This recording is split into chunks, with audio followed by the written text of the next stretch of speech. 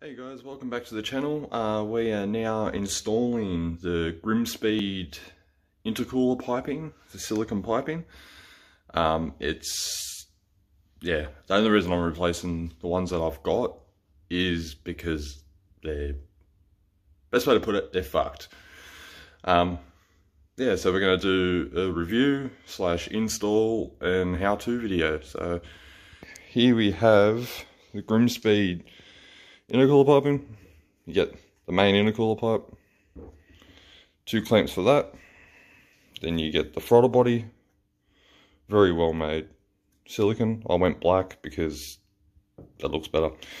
You get the clamps, and personally packed for you by Cody. Cheers, Cody. Um, you get a little card, you get a sticker.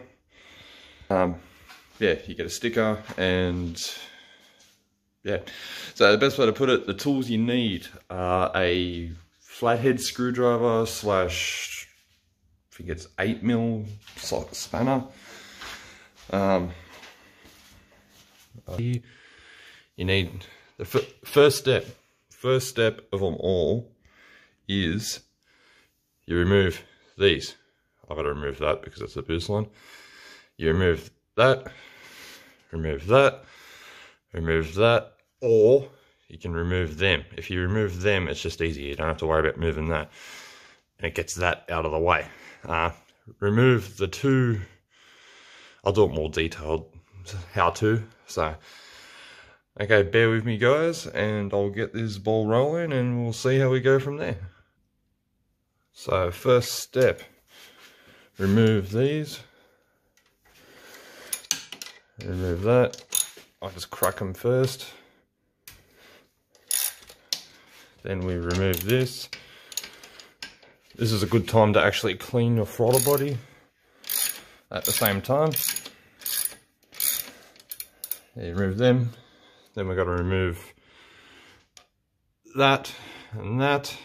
Or you can remove the recert hose, which is a pain in the ass. So I just remove that and that and make sure you don't damage the gasket or you're in for a bad day. After removing the blow valve, that's the gasket.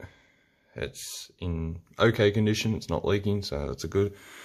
So that just pulls it away from there. I've removed those two bolts and that bolt. Time to remove the hose clamp. So you remove that one, that one, the one down there, that's the hose that's rooted. And everything should come loose after that. Oh, and you got to remove the trumpet if you've got one of these, which is the trumpet, yeah. So we'll get cracking back into that and we'll try and we'll get these hose clamps undone. After that, that is an outright mission. I need to get a catch can for this thing. So, guys, that was a mission. Just one of these pipes here just didn't want to come off. If you want to bleed your clutch, do it now. If you want to change your gearbox oil, you're better off doing it now.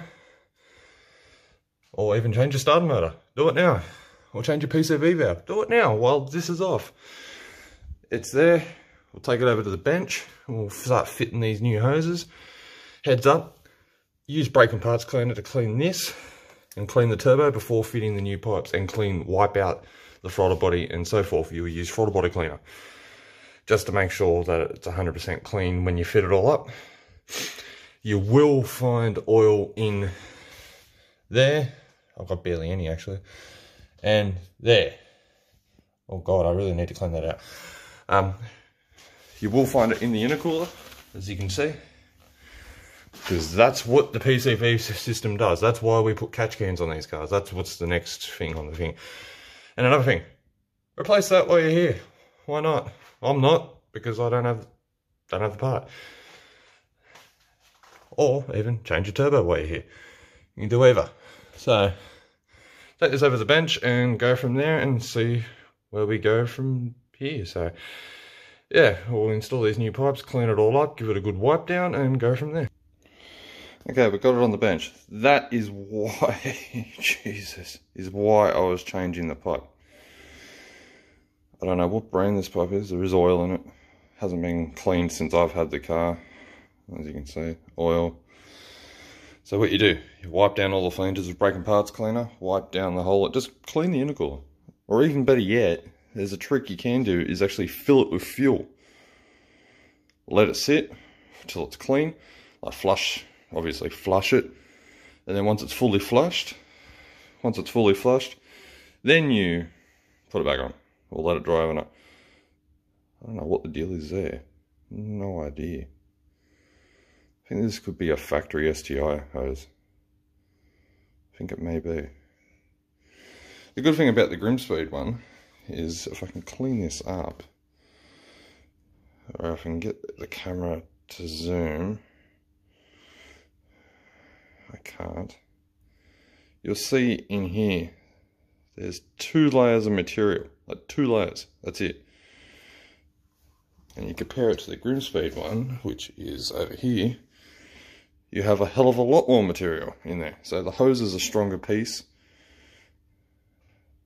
Actually, I'll actually look after this.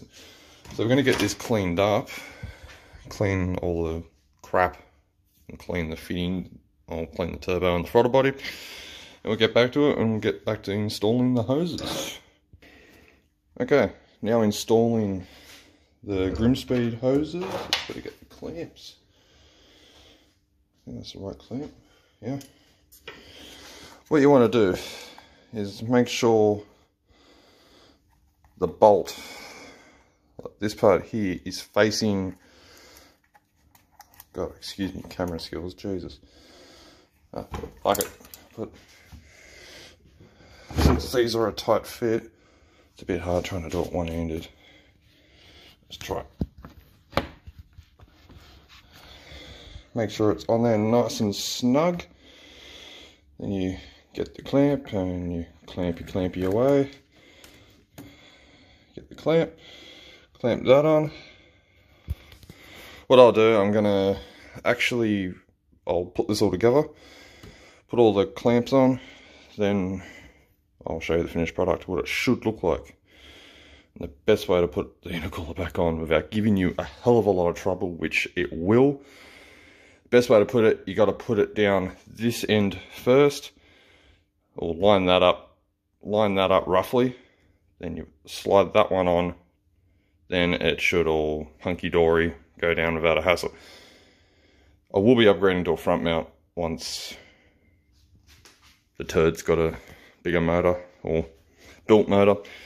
Excuse the mess, it's been a bit of a shit fight lately. But yeah, that's the difference. That's how bad this thing was. I don't even know how I let, how I let it go for so long. Yeah, bin. So, we'll get into it. I'll get this stuff fitted and tightened up and we'll go from there. And that's what it should like at the end of the day. Sorry about the lighting. It is like, oh, what time is it? I think it's about 5, 5.30 in the morning, 5 o'clock in the morning, if not earlier. Couldn't sleep, so why not? I'll just do this. The bedroom. My partner's on the other end of the bloody house, and my son's still asleep, so peace and quiet. When you got a three-year-old, they run around like batshit crazy. So, yeah, always have a good old GrimmSpeed logo aiming up, and so forth. Um, this one might need a bit of tweaking here and there to get it to fit right. Always clean, always clean the throttle body I'll show you. Always got to clean, clean all around there on the outside and all around there with like an alcohol wipe even.